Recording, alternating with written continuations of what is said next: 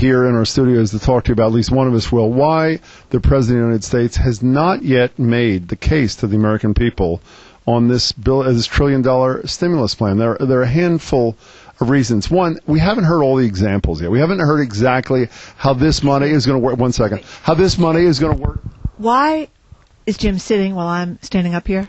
It's only one chair. Now, as I was saying, as I was saying, the president has to make clear to us one, the breadth of the problem, which we all understand. He's Two, made that clear. He's made uh, uh, what, what we are is we're all sitting in impact position on the U.S. Airways jet, going into the Hudson and hoping for the best. He's Well- made that clear to us all. You can call me Chesley Sullenberger. All I am telling you is this.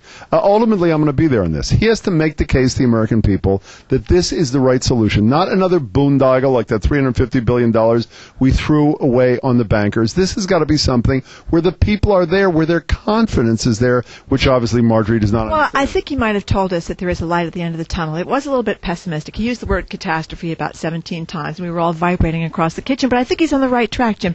And give him a break. You know, this is his first primetime press conference. He will improve. First of all, I prefer you don't bend down when you're talking. The, in addition, we can't discuss vibrating on.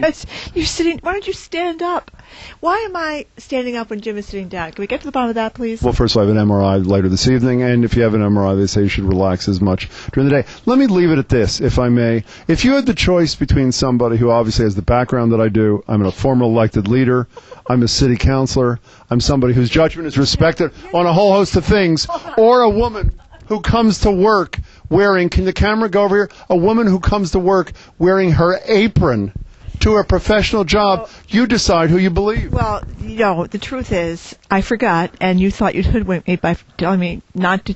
You forgot to tell me to take off my apron before the before the appearance. I don't usually come to work with my apron on. This is a mistake. But what Jim really thinks is that he could have done a better job at the press conference than Barack Obama. That's really what this is about.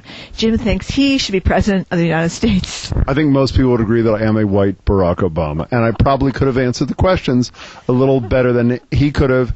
One more time, she's got the apron. I don't. I'll say no more.